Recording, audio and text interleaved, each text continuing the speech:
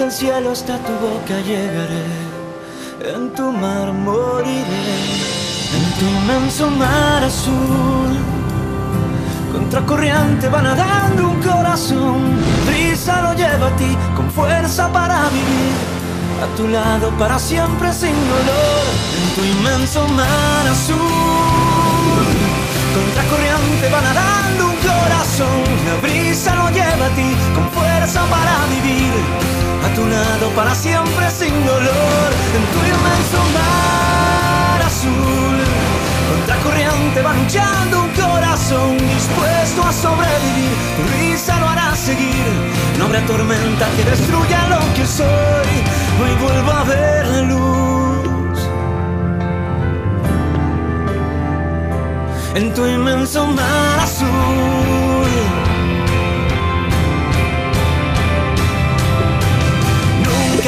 Sentido antes que era tan de alguien como yo soy para ti. Tienes tantos sueños por delante, Natalia del Mar. En tu inmenso mar azul, contracorriente va nadando un corazón. La brisa lo lleva a ti con fuerza para vivir, para vivir. para siempre sin dolor, en tu inmenso mar. Contracorriente va luchando un corazón, dispuesto a sobrevivir. Tu risa lo hará seguir, no habrá tormenta que destruya lo que soy. Hoy vuelvo a ver la luz. Inmenso mar azul.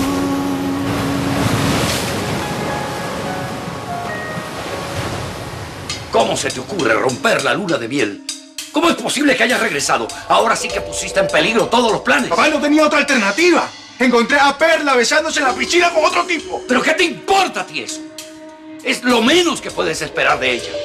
Porque Perla, aunque no lleva la propia sangre Euskadi, está educada con las enseñanzas de Adolfo. Pero bueno, ¿pero qué te importa a ti que tu esposa esté con un amante y no va a piscina? Ya, pues, este matrimonio es una farsa, lo sabes, ¿verdad? Entre ustedes no hay amor, ni nada por el estilo. Esto es una cuestión de conveniencia. Sí sé todo eso, papá, pero más allá. A mí la gente no me va a ver la cara de imbécil, de cornudo, para que luego estén hablando de mí. Pero qué tonterías estás diciendo. ¿Qué tonterías estás diciendo? Ahora Adolfo seguramente aparecerá como una víctima diciendo que su hija fue humillada, ofendida. Bueno, cálmate, cálmate, cálmate. Yo, yo, yo me encargaré de, de hablar con Adolfo y explicarle cómo, cómo fue todo. Cálmate. Ah, sí, claro. Se lo vas a explicar y entonces Adolfo te va a comprender.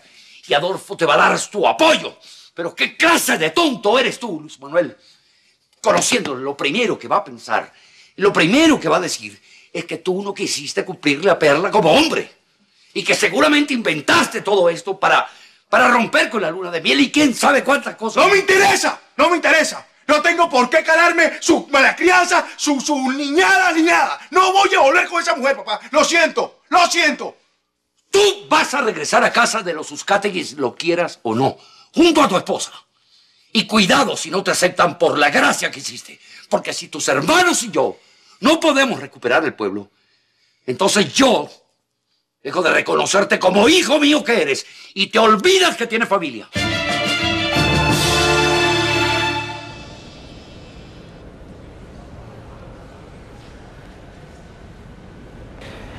Bueno, yo, yo voy a estar afuera para que puedan hablar tranquilos. No, no, no, padre, no, no, no. Mire, si usted sale y llega mi papá y nos ve aquí. Marianita, Marianita, tranquila. Ustedes necesitan hablar. Necesitan decirse muchas cosas y sobre todo necesitan entender que sienten el uno por el otro. Así que aprovechen este momento que yo voy a estar afuera y voy a estar pendiente de que nadie los vea. ¿Bien? Solo pienso en ti, en tu mirada tierna, en tus ojos que me condenan. No logro escapar. Pero señora Leonora, ¿qué le pasa? ¿Por qué llegó así? Carmela tenía razón. Adolfo no me quiere. Lo que estaba era fingiendo para que yo le traspasara a su nombre mis minas. ¿No ves? Yo se lo dije, yo se lo dije, pero ahora cálmese, cálmese y dele gracias a Dios. Menos mal que lo descubrió a tiempo y no se dejó engatusar por ese canalla. No tenía derecho. Es que no tenía derecho a humillarme de esa manera. No tenía derecho. No tenía. Fue muy cruel con sus palabras, Carmela. Me dijo que, que yo era una, una vieja. Yo no merezco todas esas humillaciones, Carmela. Cálmese. Olvídese de ese hombre que no más que un canalla sin escrúpulos. Usted salió ganando. Usted salió ganando porque ya descubrió usted a un ladrón sin careta. No puede ser, Carmela. Me, me humilló. Me estaba engañando. Me estaba ilusionando. Yo, y yo como una tonta. Se burló de mí. Se burló de mi cara. No, no. Pisoteó mi dignidad de mujer. Carmela, no sé qué hago, Carmela.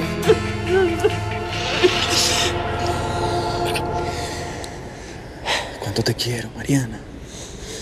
Me hacías tanta falta. Y yo te extrañaba tanto, Domingo. Al fin. Al fin. Mariana, Domingo. Mariana. Mariana, tu hermano acaba de llegar. Tu papá lo envió a buscarte. Por, favor, Domingo, escóndete. Escóndete ahí en la sacristía. En Un confesionario. Mariana.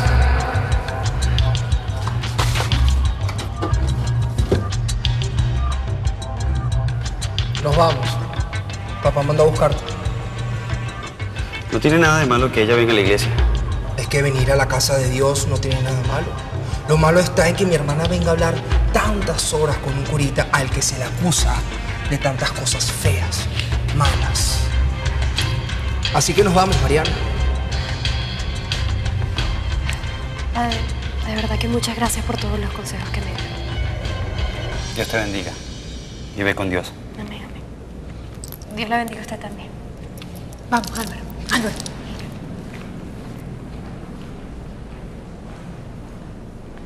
Domingo, puedes salir.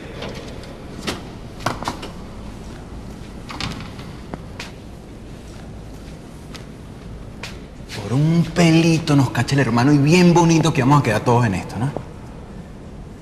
Todo el mundo en este pueblo me juzga mal. Todo el mundo. Todo el mundo no, padre. Yo creo en su inocencia. Gracias, Domingo. No sabes lo bien que me hace saber que, que tengo tu apoyo.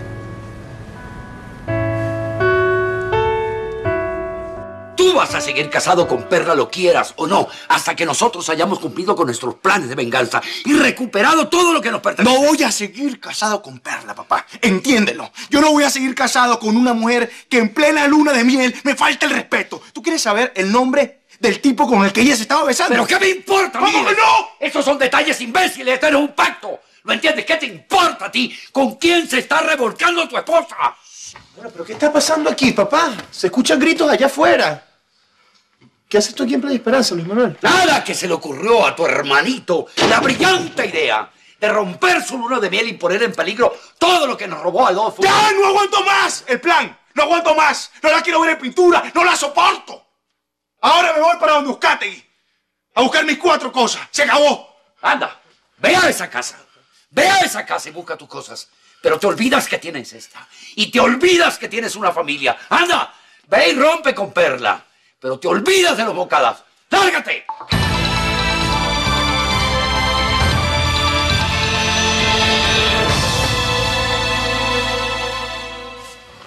Hermano, por favor. ¿Qué pasa, Gerardo? ¿Qué pasa? ¿Qué pasa? ¿Qué sucede? Yo te voy a pedir que recapacite. Yo sé que no estaría fácil, yo sé que no estaría fácil lo que te toca, hermano, pero por favor un poco de más paciencia. Piensa que toda tu familia te necesita en este momento. Tú puedes entender que a Perla la encontré besándose en la piscina del hotel con otro tipo, que es una mentirosa. ¿De qué me hablas? Bueno, no sabía, no sabía Luis Manuel, pero eso, eso es algo que uno se puede esperar de ella. Además, no entiendo por qué te afecta tanto. Perla es una Euskadi. Tú solo tienes que estar con ella por compromiso, para aparentar, mientras nos da chance de recuperar todo lo que es nuestro. No quiero seguir casado con Perla, entiéndelo. Yo amo es a Natalia. Y tengo que calarme todo esto. Calarme esta venganza que inventó mi papá. Calarme este matrimonio de mentira. y no poder estar con ella. Piensa en el viejo. Es lo único que te estoy pidiendo. Piensa en el viejo que le robaron este pueblo ya hace años. Solo quiere justicia. Papá no puede solo, hermano. Él está contando contigo, está contando conmigo. Necesita nuestra ayuda. Solo te voy a pedir que.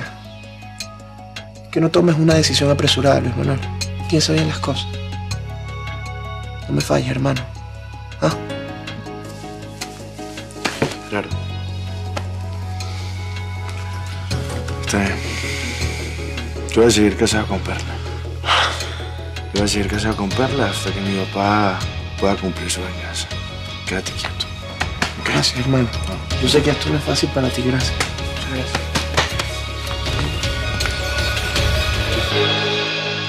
Puedo aceptar que mi plan se vaya a destrozar por culpa de la estupidez de Luis Manuel.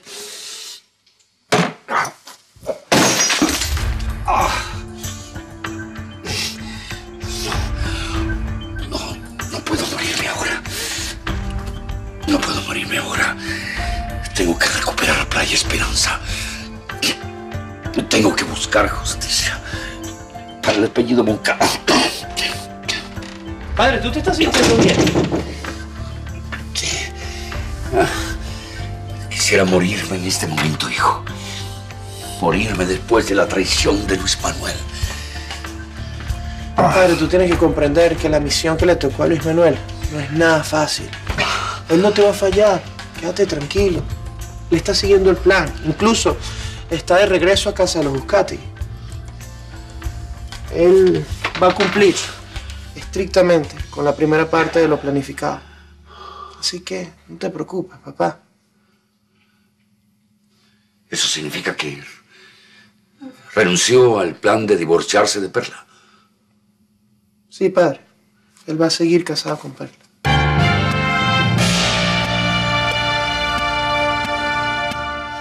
Perla, Perla, tu papá no ha llegado todavía. Yo lo llamo y lo llamo al celular y no me responde. Él tiene que enterarse lo que está pasando con Luis Manuel. Él tiene que saber la humillación que te hizo. No entiendo cómo pudo humillarme así. ¡Odio! Ay, yo no sé. Si tú piensas irte de esta casa, te advierto que no vas a poder sin la aprobación de Adolfo. Mire, señora, yo no necesito la aprobación de nadie, en primer lugar. Y en segundo lugar, yo no me voy. Yo me quedo aquí colaborando con la gran mentira de nuestro matrimonio, Perla. Sí, necesito que me digan cuál va a ser mi cuarto. El mío, por supuesto. Lo vamos a compartir. Perla, ya yo te dije que nosotros no vamos a dormir más juntos. Sí necesito saber cuál es mi cuarto. Bueno, entonces ocuparás el cuarto de la difunta Paulina hasta que Adolfo decida qué hacer. Perfecto. Pastora, Que sea. pastora. Dígame, señora. indícale a Luis Manuel cuál es el cuarto de Paulina. Sígame, señor.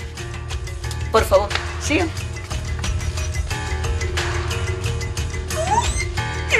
Lo odio con toda mi fuerza por humillarme y por despreciarme. Nos encontramos, Rosarito, por. por casualidad en esa iglesia. ¿Ves? Y, y- y de verdad, de verdad, no sabes cómo fue. Mira, nos besamos. Yo le dije que la quería. Ay, qué bonito, hermano. Mira, pero cuidado con eso, porque si mi abuelo o alguno de los Moncada se entera, eso va a ser bien horrible. Lo van a querer separar. Bueno, eso sí. Eso sí, Ma- Mariana es, es una muchacha de una familia muy rica y yo. Y yo, pues soy yo, pues, un simple pescador, ¿no? Ah, Pero qué va. Que vaya, tú vas a ver que no nos van a descubrir. Entonces, cuando ella se divorcie, nosotros nos casamos más después, ya vas a ver. Bueno, hermano. Mira, pero tú no eres el único que tiene cosas que contar. Yo hoy estuve todo el día con el doctorcito Gerardo en una lancha que él consiguió. Cuánto lo quiero, hermano. Pero, pero ya va, ya va. ¿Se te declaró? Bueno, yo no sé cómo es así cuando a uno se le declaran, pero yo creo que es, yo- no somos novios, de que somos novios, somos novios. ¿En serio? Pero, pero eso está buenísimo, Rosarito. Ven acá. ¡Bájame, Domingo! ¡Bájame! ¡Bájame! ¡Cónchale! Pero, ajá, ok, ok. Entonces, ¿se va a casar contigo? Bueno, eso es lo que yo más deseo en la vida. Yo que nunca soy así. Ilusión que crece en mí de encontrar mi Hacerme creer que estaba enamorado de mí otra vez. Hacerme ilusionar de nuevo. ¡Qué canalla que es! ¡Qué canalla que es!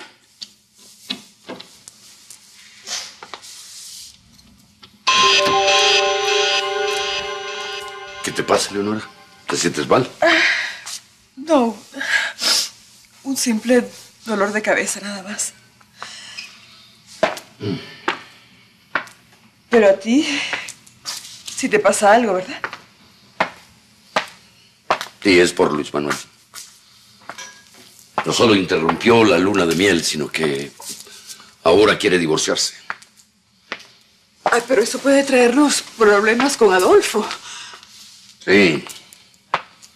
Es muy capaz de querer aparecer a su hija como humillada. Entonces entrarle a balazos a Luis Manuel y hasta matarlo. Dios mío, no permitas que esa locura suceda. No permitas que Adolfo mate a su verdadero hijo.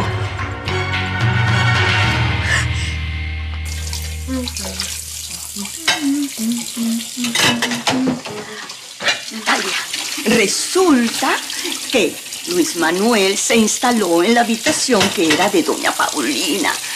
La misma habitación que te dio don Adolfo a ti. Ah, sí, eh, pastora, por favor, ¿qué me hacen o yo? Porque yo ya no quería ese cuarto.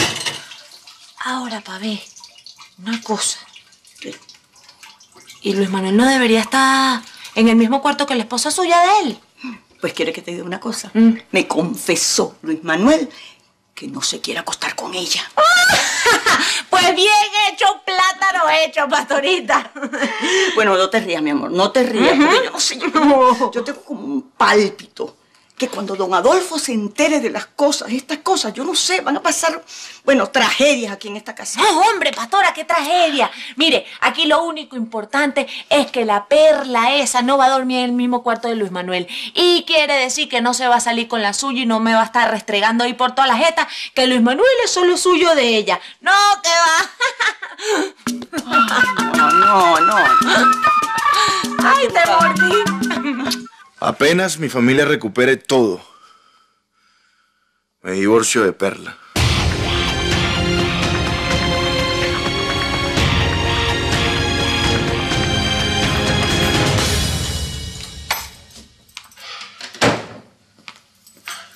Leonora sabía cuál era mi plan. Yo creo que fui demasiado obvio. Creí que estaba muerta de amor por mí y me apresuré a pedir que traspasara las minas a mi nombre. Pero qué estúpido fui. Adolfo. Adolfo, te estuve llamando al celular y no me respondiste. Te dejé varios mensajes. Perla y Luis Manuel acaban de llegar de Puerto Rico. Él interrumpió abruptamente la luna de miel.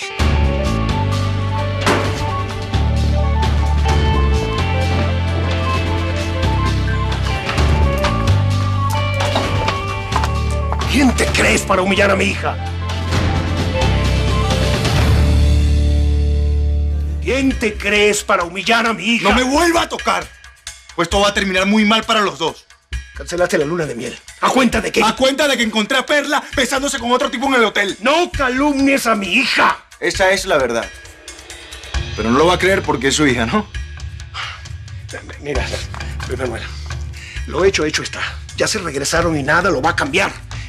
Hija la respetas y le das el lugar que le corresponde. Ella es una Euskategui.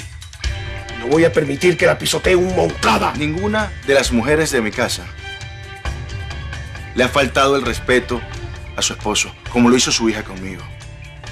No estés muy seguro de esas palabras. Yo tú no metería las manos en la candela, te puedes quemar. Acuérdate de tu hermana Mariana. La tuvieron que casar a la fuerza porque se estaba embochinchando con el pescadorcito ese. Y aunque ella siga aquí en Playa Esperanza y siga siendo una mujer casada, nadie sabe si se siguen bochinchando. Ey, ey, ey, respete a mi hermana. ¿Y qué piensa tu madre de todo esto, dime? Mi madre es una dama de pies a cabeza. No se pase, Adolfo. No se pase. Mi madre jamás le ha faltado el respeto a mi padre. Ah. Bueno, si tú lo dices así será.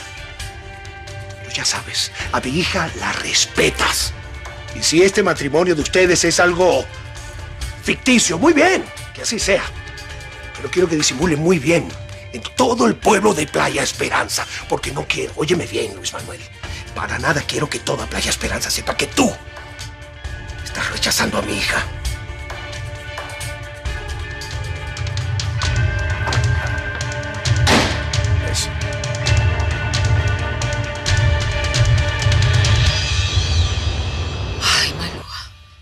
Qué bueno, muchacha, que viniste. Apenas te llamé. Su sobrina Perla me trató muy mal. Yo lo sé, Malúa, yo lo sé. Pero tú la tienes que entender. Mira que su marido le está haciendo las cosas más horrendas que le puede hacer un marido. Por eso ella está muy alterada. Mira, ven, muchacha, siéntate aquí, tranquilita. Siéntate, siéntate. Quítate, muchacha. Quita las patas de ahí. Ay, qué mala educada que es mi hermana. ¿Qué te pasa, pues? Mira, Malúa. Tú tienes que hacer un buen trabajo. Tú tienes que demostrar que eres la bruja más poderosa de Playa Esperanza. Y que tus poderes, al lado de los de R. Iluminado Jacinto, que ese viejo es un simple charlatán, son más fuertes que toda Playa Esperanza. Tú tienes que lograr que Luis Manuel Moncada se arrastre a los pies de mi sobrinita Perla. Ay, ya, porfa, ay, paso, por favor. Cállate la jeta, chica. Agarra un buche de agua ahí. Mira que tú eres una pasmada, una quedada, pareces una zombie. Y para estas cosas hay que demostrar que se tienen las pilas bien puestas. Ay, que vas Cállate la jeta. tú también en, en brujería ni cosa de esa chica parecida. Adiós. Déjeme demostrarle que yo puedo hacer que Luis Manuel Moncada se arrastre a los pies de su hija. Y yo también puedo encargarme de Natalia.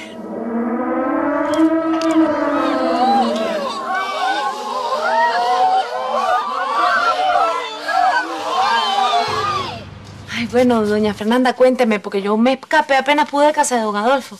¿Usted para qué quería hablar conmigo?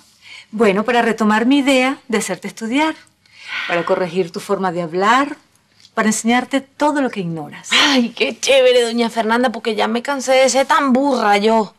Primera lección, no eres ninguna burra, no lo vuelvas a repetir. Mira, te voy a poner un horario de clases. Entre Patricia y yo vamos a hacer de ti una gran dama. ¡Ah! pues, ¿quién me aguanta, no? La nieta del iluminado Jacinto, Natalia, cualquier pata en el suelo. Abrí qué tremenda dama y, ah, y así bien sabionda. No se dice sabionda. Ya verás, corazón, que poco a poco te vas a convertir en una muchacha refinada y de gustos exquisitos. Ay, eso es lo que quiero, doña Fernanda, ¿ves? Volverme así, una, una dama, como usted dice, bien inteligente, para poder ver a todo el mundo así por encima del hombro como me ven a mí. Porque ya, ya está bueno ya. Y bueno, yo ya me pinto de colores, ¿oye? No, ya me voy. ¿Usted también se va? No, no, no. No se dice me pinto de colores, sino ya me voy. Ah, bueno, imagínese usted todo lo que yo voy a tener que aprender, ¿no? Bueno, ya me voy, pues. Hasta luego. Hasta luego. Te espero, Natalia.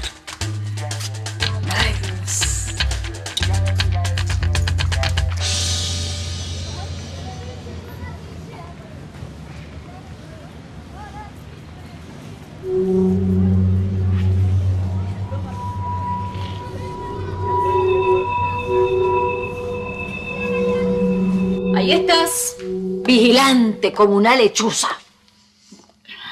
Yo, yo, yo, yo no sé de, de qué está hablando, señora Sara. Claro que sabes. Por supuesto que sabes. Estás sí que haciendo algo. Mentira. Estás disimulando, esperando que baje Adolfo para enterarte qué fue lo que pasó entre él y Luis Manuel, para correrle con el chisme a tu protegida. Ay, pastora. No te pongas tan abiertamente en mi contra, porque no te va a ir nada bien. Te tengo bien vigilada, arpía. Señora Sara, con todo respeto, no odia a Natalia. Ella no le ha hecho nada. Ella es una pobrecita muchacha ignorante. ¿Entiende? Es como, como, como un animalito del monte que no conoce la maldad. Y usted se empeña en destruirla sin ninguna necesidad, señora Sara. No eres quien para hablarme así. Cuñado. Cuñado, dime qué fue lo que, qué fue lo que pasó con Luis Manuel. Le rompiste la cara por lo que le hizo a Perla. Sí. Ay, señores, ¿por qué usted me está viendo así tan feo? Me llamo Malúa. Y tengo más poderes que tu abuelo. Ah, no, mire, eso sí va a estar bien difícil, yo, señora. Porque mi abuelo es el gran iluminado de este pueblo. Mira, muchachita, te voy a advertir algo. No te andes interponiendo entre la señorita Perla y su marido. Es que fue la arañamona esa de la perla la que la mandó usted a amenazarme. No. A mí nadie me ha mandado a nada. Pero te lo advierto. Luis Manuel Moncada es un hombre ajeno. Es un hombre que tiene dueña. Ay, mire, doñita, ¿sabe cómo es la cosa? Que por mí puede tener 800, 357 mil dueñas, ¿ves? Porque a mí ese traicionador no me interesa. ¿Y sabe cómo es la cosa? Deje usted esa amenazadera que me tiene. Porque si usted dice que es brujo y que es poderosa, pues mi abuelo es 700 veces más poderoso que usted. Y si usted me viene a mí a montar un trabajo, mi abuelo le va a montar dos, ¿ves? Le va a torcer esos ojos, ¿eh? Y le va a dejar esa pata bien chueca.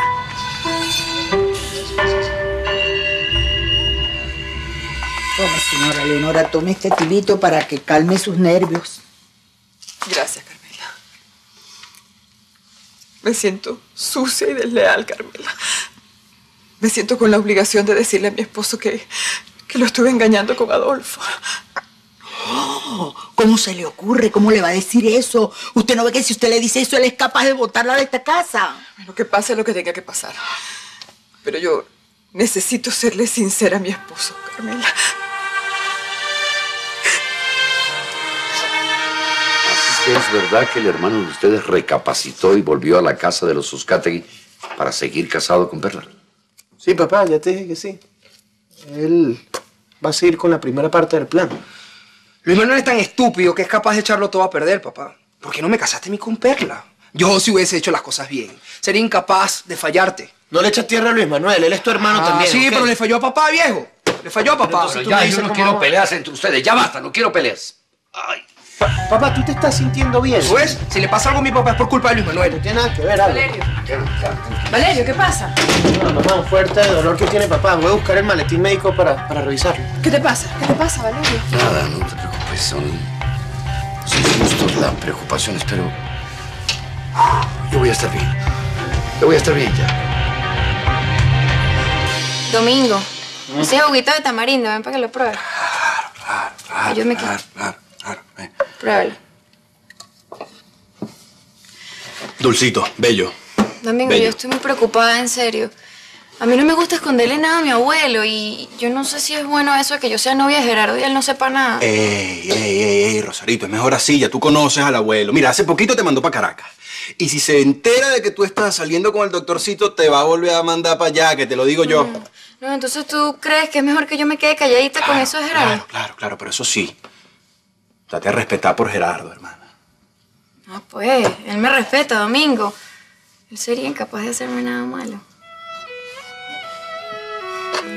Gracias por el juguito. ¿Te lo llevo?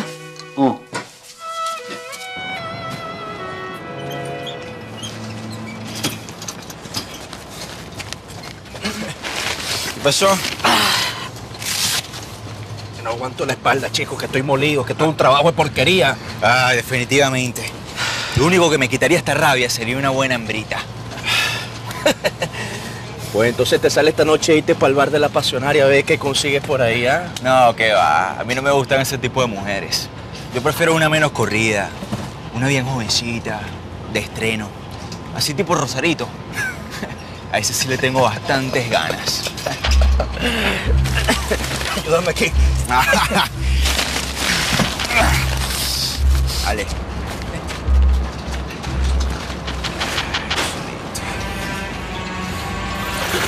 Lleve su pescado fresco, venga al puesto de Loli al mejor precio, lleve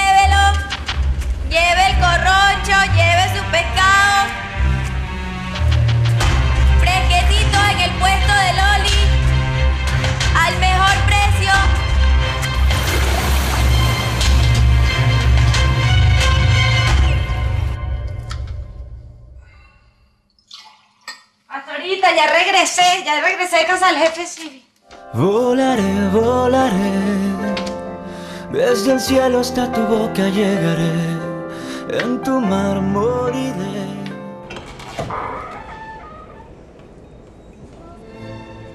La iglesia está vacía. Hoy por primera vez la casa de Dios en este pueblo está vacía. Señor, la gente ha dejado de venir desde que empezaron los chismes sobre mí, pero lo han hecho poco a poco. Pero hoy, hoy no vino nadie. Solamente Mariana.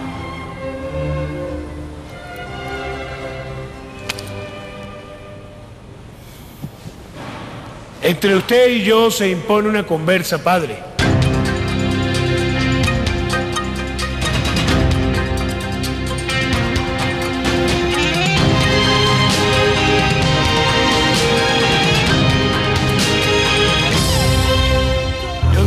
Pasara un tiempo para que se calmaran las aguas. Hasta le di oportunidad de que usted fuera a mi casa y me diera una explicación, padre. Lo que pasa es que yo no tengo que dar explicaciones de nada, don Adolfo. Ah, no. ¿Usted está seguro, padrecito? Usted me dice cuándo empezamos a poner orden, patrón. Tranquilo, piraña, tranquilo, no te alteres. Todo su tiempo. Es un perro bravo, ¿eh? Usted le malogró a mi hija la vida en ese paseo a la montaña. Y sí, es cierto. Mi hija ya era una mujer casada. Pero lo que usted le hizo a mi hija fue muy doloroso. Eso marca a una mujer. Y la marca bien feo. Yo a su hija no le hice nada. Y mi testigo es Dios. Ah, bien bueno. Entonces usted está diciendo que mi hija es una mentirosa. ¿eh? Pero qué cosa, vale. Que yo sepa, Adolfo Uzcategui no ha criado hijas mentirosas. Óigame, don Adolfo. No, óigame usted a mí. Usted le desgració la vida a mi hija. Y yo ahora mismo le podría mandar a hacer dos cositas. Rapidito, rapidito y se acabó el problema. Pero como meterse con un padre es un sacrilegio y un pecado grave. Y a Adolfo Uzcategui no le gusta pecar. Es mejor que agarremos el camino fácil, padrecito. Así que usted va a su iglesia y habla con su monseñor. Y le notifica que ya no quiere usar esa sotanita más, nunca. Mientras tanto, yo voy divorciando a mi hija con el bueno para nada de Octavio. Y cuando usted ya no le pertenezca a Dios y mi hija no le pertenezca a su actual esposo, entonces, como en los cuentos, se casan, ¿eh? Vivirán felices para siempre. ¿Le quedó claro, curita?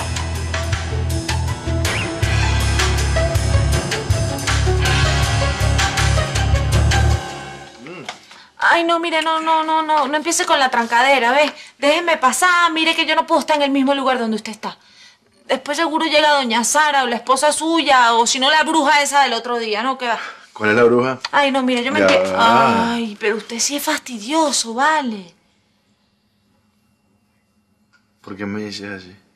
Ay, mire. Mejor es que yo no le deje a usted hablar, ¿ves? Y no empiece otra vez con su retaíla, que si usted me quiere, que si yo soy la mujer más linda de este mundo, que si usted está enamorado perdidamente de mí y da la vida. No, y todo ese pocotón de cosas que dicen ustedes los hombres cuando quieren aprovecharse de una de las mujeres femeninas. No, que va, mire, ahórrese conmigo esa y a mí no me esté diciendo ese pocotón de cosas, ¿oye? No te preocupes, que no te voy a decir nada, Natalia. Ni ahora ni nunca. ¿Y sabes por qué? Porque no me interesas. Porque lo mío contigo era un juego. No me interesas y yo no voy a estar enamorada de ti.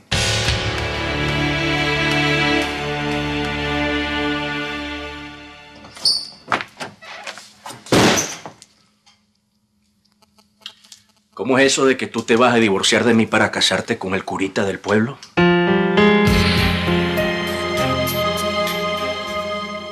¿Te quedó claro? No me interesas. Yo nunca en la vida me voy a fijar a una mujer como tú. ¿Tú estás borracho? No, no estoy borracho porque no he bebido. Te estoy hablando en serio. ¿Ah, sí? Ah, bueno, está bien. Pues entonces, si usted no me quiere a mí, pues yo tampoco lo quiero a usted o yo. Y no importa, quédese con su esposa. Que yo me voy y me busco otro. ¿Cuál? ¿Cuál? Adolfo. Eso es lo que tú estás buscando un rico y un poderoso para dejar de ser lo que eres. ¿Cómo te gusta pisar alto?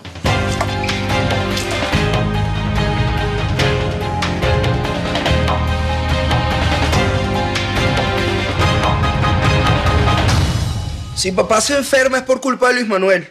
Ay, por Dios, Álvaro, cállate. Me pones más nerviosa, hijo. Madre. Bueno, ya reconocí a papá. ¿Y? Qué, pa- qué pasa? ¿Qué, qué tiene? Bueno, no, él dice que, que nada más es estrés, pero a mí me preocupa mucho su salud. Yo no puedo dejar la iglesia. Que no puede. De que puede, puede, padrecito. Yo ahora mismo podría mandarlo a desaparecer con el piraña. Y yo encantado de cumplirle la orden, patrón. Pero mi hija quiere como reparación casarse con usted. Y a las hijas hembras hay que complacerlas. Así que usted va hablando con su iglesia. Y yo voy hablando con mis abogados para que divorcien a mi hija Patricia. Entienda que para su hija solo soy un capricho, una obsesión. Y yo, escúcheme bien, yo amo a Dios. Bien, ese es un amor muy bonito. Todos amamos a Dios, ¿no es así, piraña? Seríamos demasiado desgastados si no lo amáramos. Yo amo a Dios, pero también amo a las mujeres. Así que, padre, va a tener que compartir su amor por Dios con mi hija Patricia. Y se me va quitando la sotanita. ¿Está claro?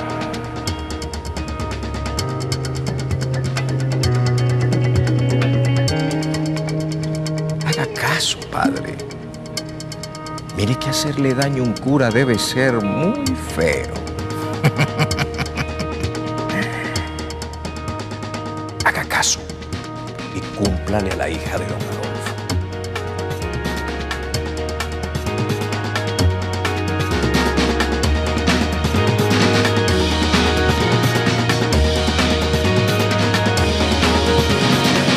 Dime pues, ¿cómo es eso de que tú te piensas divorciar de mí para casarte con el curita de Playa Esperanza?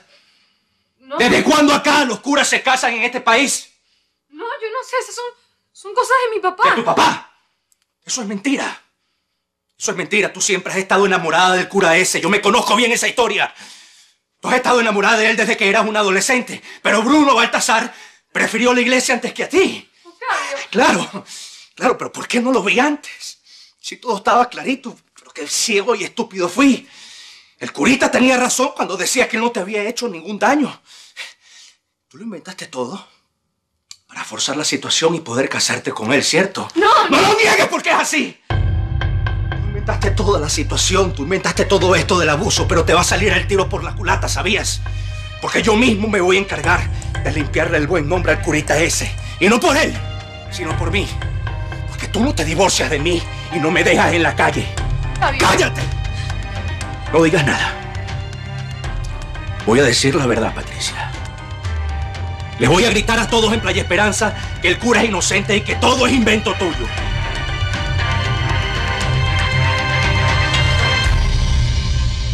Eso es para que aprenda, no está hablando tan aguado. ¿me Lárgate de escuchó? la casa, Pues yo Natalia. no me voy, ve, porque usted no es el dueño de esta casa para estarme votando. Te ordeno que te largues. ¿Y por qué no se larga usted para la suya? Porque esta es la casa de mi esposo y aquí vivo. Pues se la cala, ¿me escuchó? Porque en esta casa yo me voy a quedar. Porque aquí es en donde trabajo y se la cala. Y aunque trataste muy mal a Malúa, esa mujer está dispuesta a servirte. Ella puede sacar a la salvaje de Natalia de tu camino. Ay, no sé, tía, no sé. Es que yo no creo mucho en la brujería de esa mentirosa. Adiós, muchacha. Pero tienes que creer en las brujerías de Malúa. Y si no crees en las brujerías de ella, ¿acaso sí podrías creer en los venenos preparados? ¿Veneno? Sí, sí, sí, sí, sí. Malúa puede preparar unos venenos para sacar a Natalia de tu camino.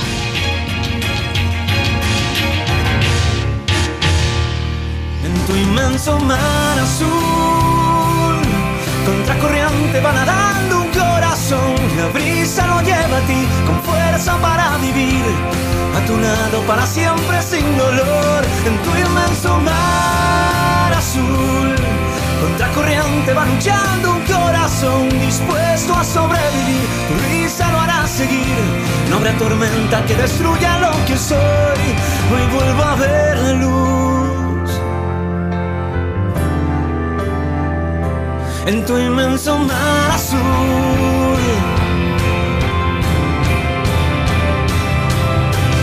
Nunca había sentido antes que era tan de alguien como yo soy para ti. Tienes tantos sueños por delante, Natalia del Mar.